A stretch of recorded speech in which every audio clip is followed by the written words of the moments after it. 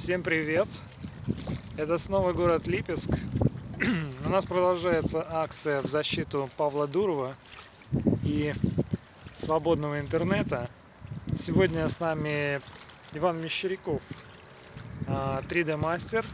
Ваня, кто ты еще есть? Скажи мне. Я хороший человек.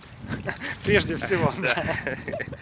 Вот, мы хотим записать очередное видео в поддержку свободного интернета. Прочь кривые руки от прямого интернета. Прекратите ломать YouTube и прочие вещи.